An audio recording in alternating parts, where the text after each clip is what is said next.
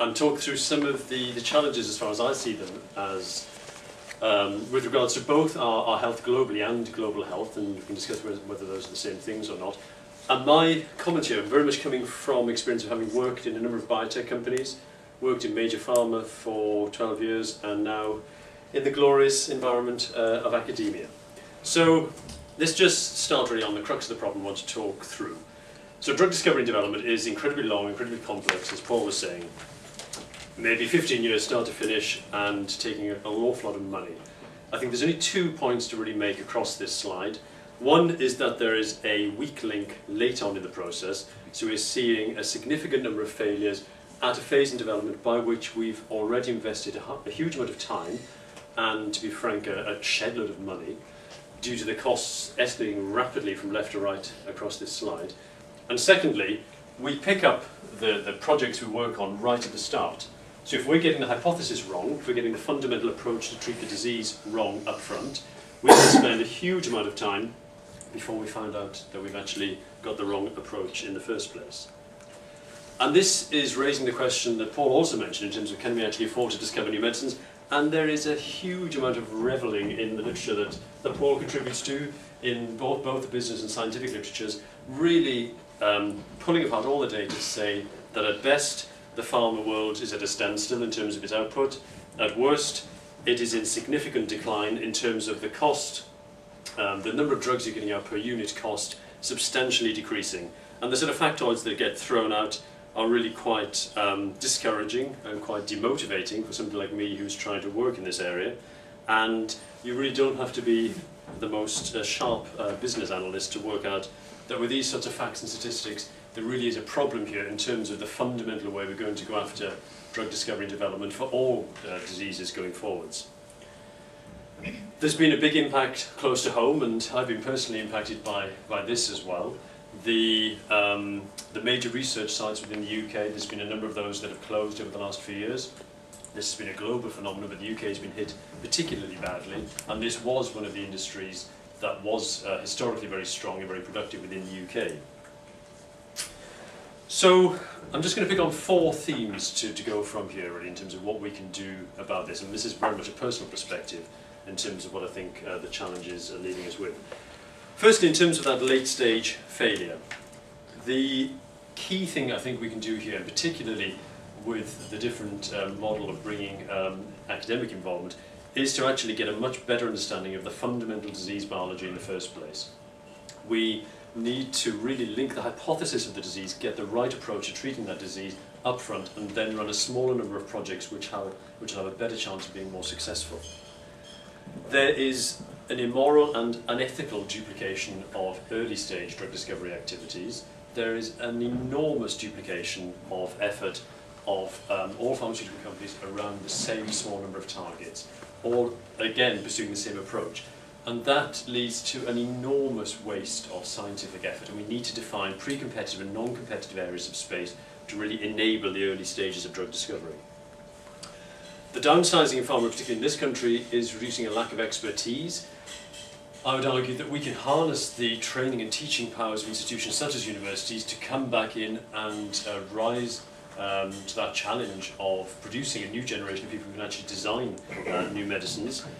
And finally, the big pharma companies already have half of their pipelines from the outside world.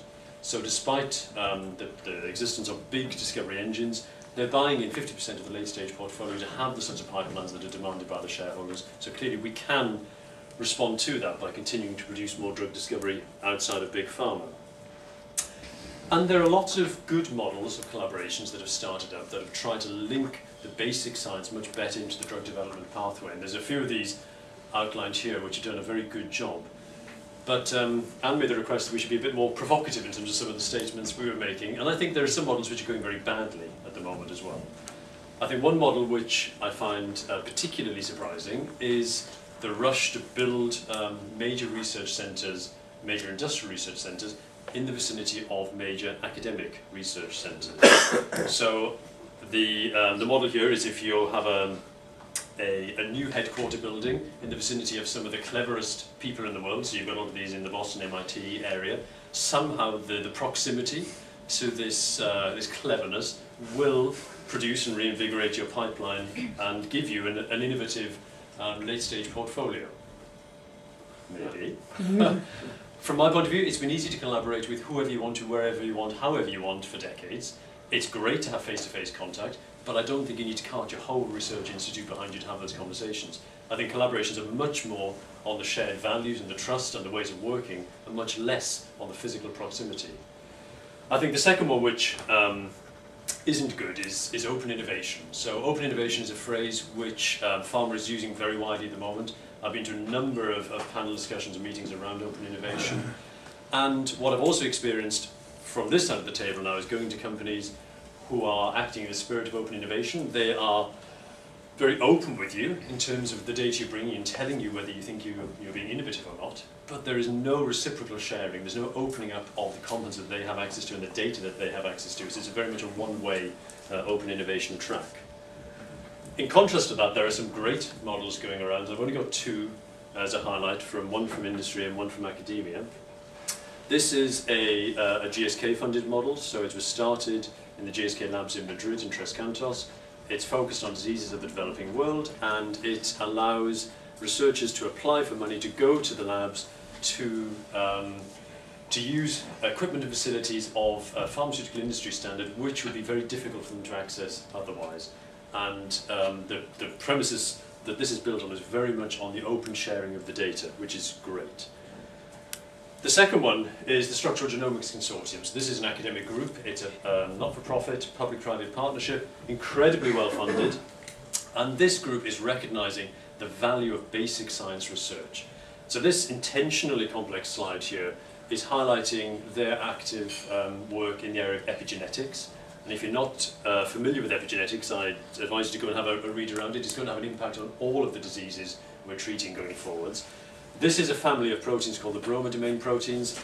Each of these letters here represents a different protein. All these colours are subfamilies. It is incredibly complex. What has happened in the past when um, we found new areas of science like this in the pharmaceutical industry is we would pick one and then we would all follow that same one, we would all research that same one and we would all find more or less the same things. What the SGC is doing is actually saying, well, let's produce a toolbox. So it's working its way around these family members, producing a toolbox of biology, chemistry, uh, information, reagents, and then putting that out into the public domain. So what's happening then is labs all over the world are picking up those tools, they're doing the basic work to really link the disease and the protein together, and they're really giving that fundamental hypothesis understanding of how shall we go and treat the disease. So it's a completely different way to go about uh, starting drug discovery work. And the third one I'm going to mention is a much smaller initiative, a much newer initiative, and it's what I'm trying to do here at the moment. And it's a model which a number of groups are doing um, around the world. And it's essentially where we're taking, sorry, a, a group of people who have got a long track record of doing drug discovery in an industrial environment because drug discovery and development has only really been happening in industry, so that's where the skills have been. We're coming from that um, background and we are embedding into the academic environment, so embedding into this ability to access the fundamental biology, the fundamental clinical hypotheses, and the basic science. We're not trying to do it at arm's length, we're trying to really be part of it.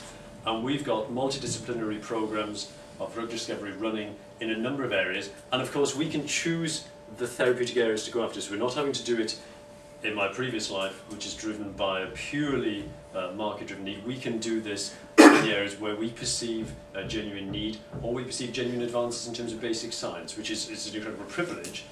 But the key to this is having the expertise coming in, but having the university as well being prepared to put up significant amounts of money to actually get the whole initiative started. So I'll just close from there with just a final provocative statement really, because we're talking about global health quite a lot today, and I've discussed global health in the context of my work here, but also in the context of the work I've done in the past. And global health has two very, very different meanings as far as I see it. The first is the meaning here, where particularly through the activities I've been involved with in the past, global health was very much more centered around a growing market, so particularly about how do you widen the access of the chronic uh, disease market into countries which formerly could not pay for it. And that is still where most of the funding is coming from, and that's where most of the funding I can apply for academically is focused as well. As opposed to clearly the number of initiatives which are very high profile and which uh, get a lot of press in terms of the activities we're doing in this country. But as academic drug discovery, this is still an incredibly challenging area to get funded relative to um, the more um, chronic non-communicable disease areas. I'll leave it Well. Thank you very much.